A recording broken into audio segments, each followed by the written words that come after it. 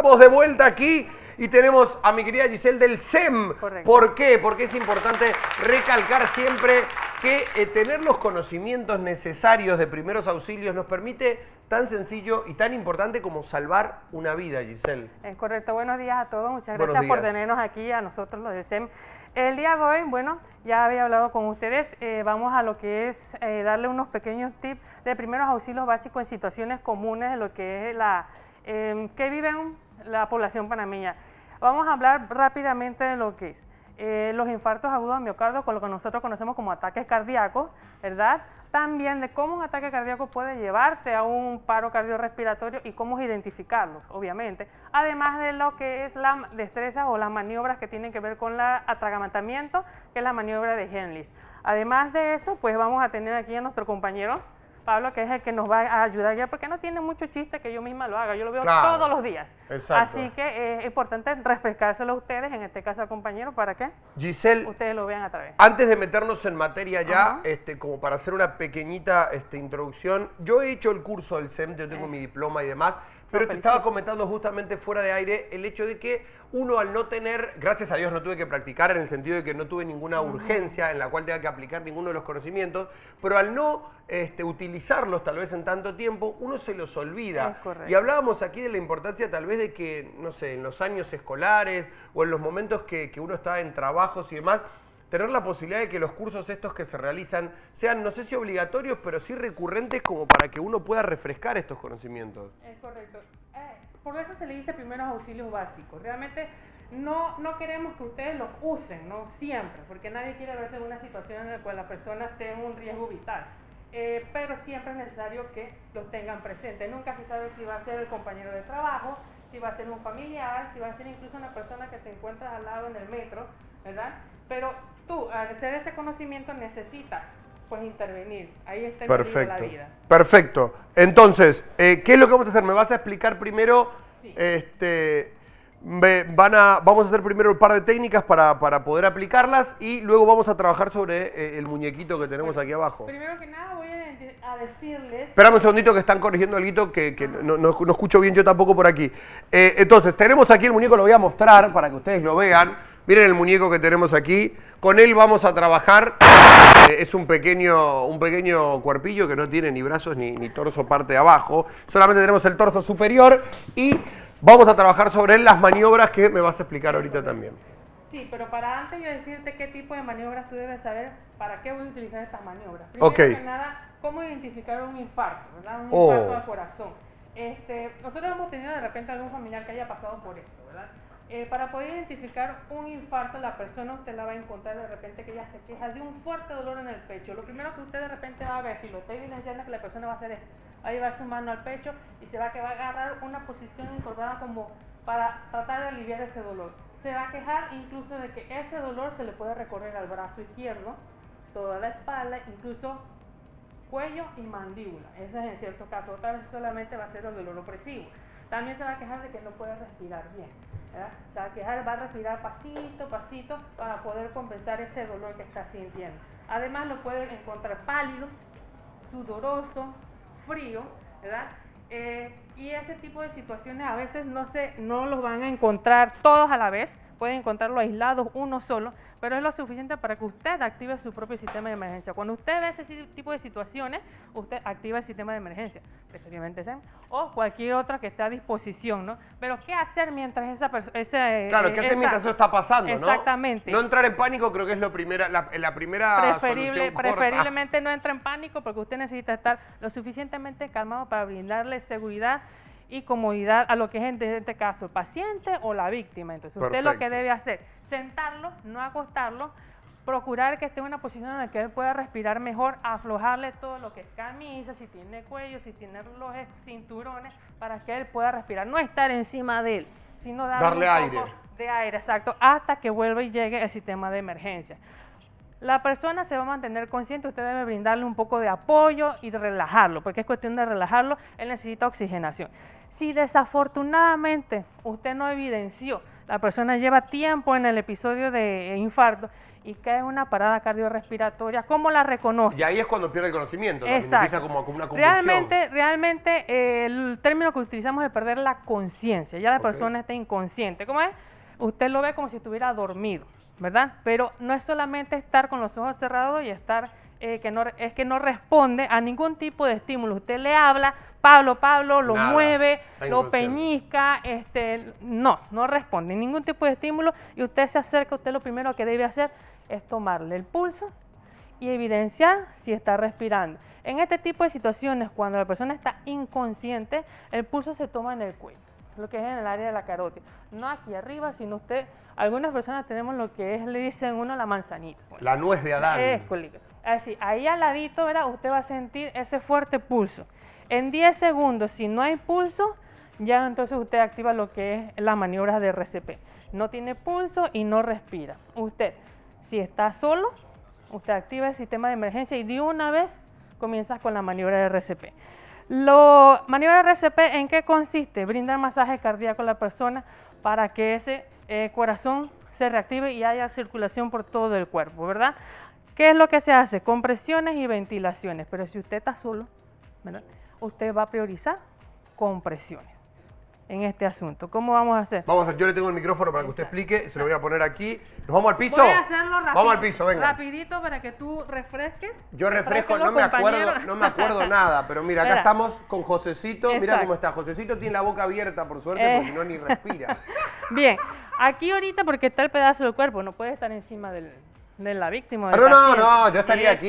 Lo que pasa es que este en un No, accidente ya lo- perdió la parte inferior, hay que resolverlo. Entonces lo movemos. Usted Claro. va a llegar, si usted evidenció el, el acto de, de que se cae inconsciente, usted de una vez llega. Pero si usted lo ve, tiene rato, no sabe cuánto tiempo tiene inconsciente, usted se acerca y usted siempre procura moverlo. Primero le hablamos a ver si está bien, Ajá, Josecito. no, fuerte, no. fuerte, José, y lo, y lo mueve los hombros. Cachete- Para ver, no, ningún No, cacheteo. no, cacheteo. Usted lo mueve los hombros fuertemente para que él responda. Si él no responde, entonces usted directamente va, toma el pulso. Le tomamos el pulso, pero dijimos Ajá, que aquí en el costado no, en el ajá. centro. No, en el centro no. Usted se guía Ah, por la ajá, nuez. y va a un lado. Perfecto. ¿verdad?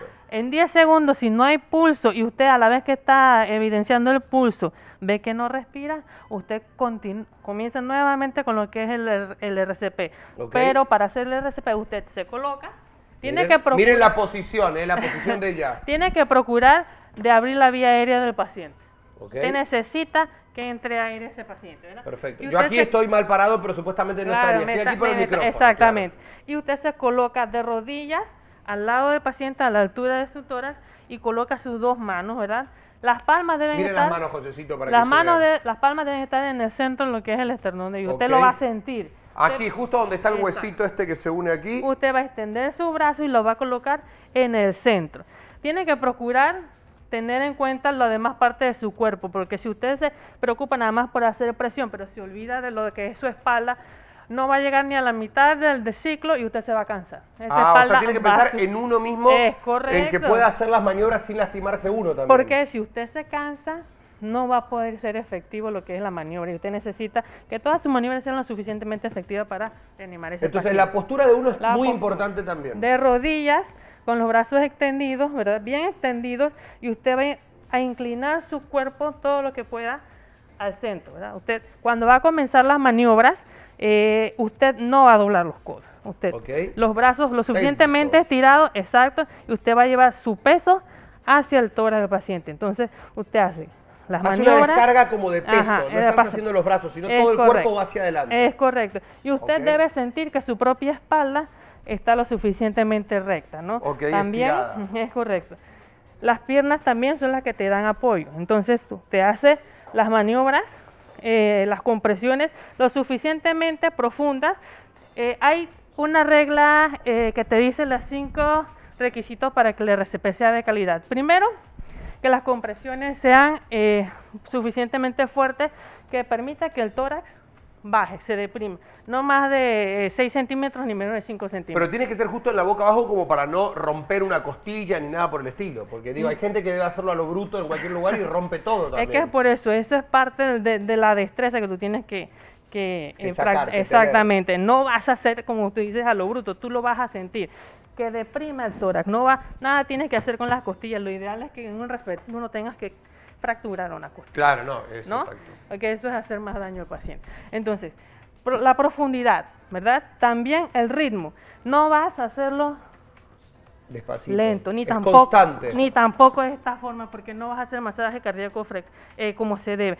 Tu ritmo debe ser lo suficientemente que te permita de 100 a 120 compresiones, ¿verdad? Por minuto. Entonces ya serían como dos por segundo más o menos. Prácticamente tú llevas un ritmo mental. Pero ¿verdad? por eso digo, para que cada uno tenga una idea más o menos, porque contar en tanto tiempo es complicado, pero es como... Ah, yo es como un ritmo pero yo te- constante. exacto, yo te voy a explicar después. Además de eso, tú debes evitar las interrupciones entre las compresiones y las ventilaciones, ¿verdad? Además, cuando estés proporcionando las ventilaciones, no debes hiperventilar, dar más de dos ventilaciones al paciente. Ventilaciones es cuando tú le haces como respiración boca a boca. Respiración. La mal llamada antes boca a boca, ahora se hace con prote- dispositivo de barrera, que es lo que nosotros usamos, a veces ¿Y es como si no una hay un dispositivo? Si no hay un dispositivo, entonces, y si es familiar tuyo y tú No, y si le quieres salvar la vida, no usted importa, va- eh, claro. claramente, pero si es una persona que tú desconoces, hay otros métodos con que incluso tú abras la vía aérea es suficiente para él, hasta que llegue el personal médico que sí tiene entonces todo lo que son los, los ítems. Además de eso, eh, tienes que permitir que el tórax se reexpanda, o sea, no es solamente Hacia abajo, tiene que bajar y subir. École, tienes que sentir que él sube, porque si tú te la pasas aquí, lo que vas a hacer matando. prácticamente, él es muy, muy gráfico. muy- Pero es cierto, si no lo trágico dejas volver, el aire no, no Es puede... correcto, entonces, ¿cuál es el asunto? Tú haces 30 eh, compresiones, dos ventilaciones. 30 compresiones, dos, Dos, ventilaciones, exactamente. ¿Cómo vas a hacer eso? Vas a hacer cinco ciclos, ¿verdad? De 32, ¿verdad? Y eso va a ser un ciclo. Van a ser, ci- eh, en eso tú vas a, a invertir prácticamente como dos minutos. Después de eso, tú chequeas pulso nuevamente a ver si recobró. Si no recobró pulso, tú Nuevamente continúas empiezas. con el RCP y eso puede llevar mucho tiempo. Pero esto, yo he escuchado también esto, es para, para saber que esto hay que hacerlo hasta que llegue la ambulancia en muchos casos. O sea, por ahí hay que rehacer esto, esto es como mantenerlo con vida hasta que llegue la ambulancia correcto. si no recupera pulso. Si tú me preguntas a mí cuáles son las situaciones en las que tú terminas un RCP, la primordial, que el- tu víctima, tu familiar salga de él. Se recupere. Sa- exacto, se recupere. Segundo, que llegue el personal que te releve, ¿verdad? Y tercero, en el momento en el que tú te agotas. Si tú te agotas y no tienes a nadie más que te releve lastimosamente, Sí, no, si no llega la emergencia y son dos personas. es correcto, ahí. serían dos personas. Entonces, procurar siempre también cuidarte tú mismo, ¿no? Bueno, igual la adrenalina también en esos momentos te, Te permite brinda- agotar. No, pero te permite agotarte menos, Menos- rápido. menos rápido, agotas. O sea, exactamente. Si yo ahora voy en frío a hacer esto, probablemente en un momento me canse. Pero si estás en un momento donde es tu familiar o alguien que le quiere salvar la vida y estás haciendo eso, tienes una tolerancia todavía mayor. Bastante a- mayor, pero sí. la idea es siempre que, o sea, si encuentras la situación, te dedicas a hacer lo que es la reanimación, pero procura siempre buscar una ayuda, porque no lo vas a lograr siempre todo solo. ¿no? Entonces procura siempre la ayuda para que tú tengas un relevo Claro. y pueda tener un mejor pronóstico. Pero sabemos también a veces que aquí las ayudas, las ambulancias y demás no llegan tan rápido, sobre todo en las zonas determinadas. O sea, que a veces es esto, a ver, es extremadamente importante la Necesario. asistencia a esta. Yo he visto eh, desvanecimientos, yo perdí un amigo este, en, en un campo de fútbol con un infarto así y no, no hubo tiempo, o sea, nadie le supo hacer RCP, yo no estaba ese Nadie día. se atreve. Nadie se animó, nadie le hizo nada, la ambulancia llegó tarde y, y falleció. por eso es importante. Y tal vez si alguien le hubiera hecho esto, lo hubiera salvado. Es correcto, y como decía la compañera, de repente yo ahorita no sé muy bien, pero yo me tiro, yo sé que con las compresiones algo voy a hacer. Y eso es lo importante, que si usted tiene algo de conocimiento, se anime, o sea, ¿Y qué hágalo. pasa? Uno a veces no se anima porque siente que por más que yo, por ejemplo, yo tengo el Ajá. conocimiento básico de tener el diploma, pero yo siento, ay, la verdad yo no tengo tanto conocimiento, capaz lo hago y no es eso lo que tiene y le hago más daño del, que, del, del bien, porque hay gente que piensa eso. Sí, es, es el miedo a, el practicar y a, a poner en, en- en- en la realidad tus conocimientos, pero sí es algo que pues realmente es difícil, es difícil. Para mí yo te puedo decir que es algo que yo no lo dudo, porque Claro, bueno, pero sí, obviamente, Mi ¿no? ocasión. Pero eso, de, eso va a depender de tu propia, este, de tu propia, digo yo, conciencia. Si tú estás dispuesto eh, a salvar una vida, te, te da importar si sabes todo el conocimiento o no. No, y aparte si tú tienes el curso, tienes ciertas herramientas, ya te permite por lo menos darte cuenta a primera escala que el pronóstico va para ese lado y que lo que hagas le puede salvar la vida correcto. y no lo vas a perjudicar. Es o sea, por ahí correcto. alguien que no tiene ni idea no creo que lo haga, pero... No, pero hay que, hay que atreverse, porque como tú dices, puede ser un extraño, pero un momento puede ser tu familiar y te hubiera gustado que alguien haga eso con tu familiar. No, Eh, totalmente. le, le da un poco más de probabilidad de vida, ¿no? Entonces, además de eso, eh, bueno, ya sabemos lo, del, eh, lo básico del RCP. eh, cuando ya llega el sistema de emergencia, ya usted queda relevado. Así que eh, el otro caso es lo del atragantamiento. ¿Qué sucede con el Ah, atragantamiento? cuando Eso alguien se atora con algo aquí, que es el famoso ese, ese abrazo que uno lo jala para arriba es que he visto en las películas. Eso sucede en cualquier momento, eh, principalmente cuando uno está comiendo, ¿verdad? Y uno no sabe a veces ni qué hacer también, no se atreve, digo, ¿se está atorando o no se está atorando? Le da agua a uno a veces, que uno Ah, tiende a pensar que darle cosas agua... que no hacer durante un atragantamiento, eso es algo Darle muy agua. importante. No, usted tiene que también saber identificar cuándo se está atragantando. ¿verdad? Usted está viendo a la persona, ella está comiendo y de repente comienza a toser. Tose, tose, tose y... Se eh, pone morada. puede ponerse morada, como dicen ustedes, puede comenzar a ponerse más Sí. pálida y eh, en ciertas ocasiones ella misma le dice, "Ah, no puedo respirar. Cuando ella está en ese tipo de situaciones, ella está pasando por un atragantamiento, pero puede ser algo parcial, todavía habla. Usted debe incentivar a la persona, si está pasando por eso, oye, tose, tose, tú te lo pones al La lado. famosa palmadita no atrás. le des la palmada ¿Ah, no? Como le da a todo mundo, no. Usted inste, inste a que tosa, que tosa, que tosa. Si ya en ese momento él no puede seguir tosiendo, entonces viene la otra faceta, que es la misma maniobra. Hay algunos que hacen una, eh, una obstrucción total. Entonces ellos, la señal universal para saber que una persona está pasando por una obstrucción total es que hace se lleva las manos al cuello, que es el signo de que me estoy... No puede respirar, no entra aire- no entra nada de entra aire. aire, no sale aire, no hablo, no nada. Entonces ahí usted sí se dispone a hacer la maniobra. ¿Cómo consta la maniobra? Usted sabe el abrazo ese de oso, pero no es un abrazo cualquiera. Pero yo te puedo abrazar desde los hombros. Claro, pero no. El abrazo es, mira, aquí es un poco difícil porque yo soy más bajita que él, ¿no? Sí. Pero no, no, no, no quita la, la... Pero lo puedes hacer igualmente con una Claro, persona claro, sea... sí, sí. Puedo hacerlo con una persona incluso más obesa que yo, más alta, solo que uno, se- incluso con los niños, ¿no? Pero lo básico es... Agárrame aquí, por Sí, favor. claro. Vamos a hacerlo contigo ahí. Dale. Mira, qué difícil, ¿no? Yo soy como un poquito más... ¿Yo, yo qué hago? Ven, vamos a ver si nos ponemos aquí de ladito para que. Ojo, me siento Leonardo DiCaprio. No solamente es Ah, porque... Espera, ¿cómo hacemos esto? Es imposible. Yo lo hago... Alguien, producción, una mano. Necesito Por una mano, amiga. Yo voy, yo voy, Viene yo Sara. Sara, ten, por favor. Gracias. Ahora sí. ¿Cómo es? No solamente es ir por detrás y abrazarlo, ¿verdad? Porque por lo menos yo, que soy bajita, si yo intento hacer esto con él, ¿verdad? No voy a tener el apoyo. Yo recomiendo, por lo menos por experiencia, que cuando él esté pasando por esa situación, usted trate de que su pierna quede a- a- entre la pierna de él, ¿verdad? Y como él es más alto y más pesado, el apoyo tuyo va a ser de tu lado. Usted lo agarre por detrás y procure siempre que un puño, preferiblemente su puño más diestro, quede por debajo. De la boca del Oh, estómago, que no ¿ah? te lo siento. Aquí, ¿verdad? Que está Por deba- flaco. Por, debajo de la boca del estómago o, la- o el esternón, ¿verdad? Y con el otro puño usted hace presión. Y usted lo que va a hacer es llevar. No te voy a apretar como si fuera porque si no aquí miedo. te saco el desayuno. Entonces usted va a hacer presiones hacia usted Uy, y ya. hacia arriba. A mí se me hace difícil porque él entonces es más alto y yo quedo Claro, como pero ¿cómo, lo agacharías? O sea, o Ya lo me está presionando En el que caso sepas. de repente lo arrodillo, ¿no? En el caso de desesperación Claro. sí somos nosotros. No, yo me tiro abajo también para que ella lo pueda hacer, claro. tampoco te puedes tirar tan abajo porque me, me dificultas el trabajo. Ah. Pero entonces, ¿cuál es el chiste? Usted va a hacer la maniobra, ¿verdad? Toda- todas las compresiones posibles. No hay una cantidad límite. Es hasta que él Eh, eh, Y uno tiende a lance hacer lo así. que es. Sí. Uno tiene a que agacharse. Y a pesar de que usted está haciendo la maniobra, usted tiene que seguirle diciendo tose, tose, tose, para que él mismo se ayude a sacar el objeto. Si dada la circunstancia no sale, ¿verdad? El ¿La objeto, traqueotomía eso va o no? no sea tan adelantado, amigo. Digamos que, ¿por qué les digo yo a ustedes que hagan la de la maniobra así, básicamente en lateral? Ponte de vuelta, porque si él se, queda inconsciente Ajá. y él va para adelante o va para atrás, caen los dos. No, y ahí, chao, que te. Entonces, exactamente, esta posición te brinda apoyo. O sea, Vamos a ponernos así de medio ladito, al- ahí, así lo ve la gente, una ahí pierna en está. medio. ahí, una pierna Para en medio. pasar. Y entonces digamos que él va para atrás. No te preocupes, yo no te Yo voy a estoy un dejar. poco yo no te voy a dejar caer tranquilo.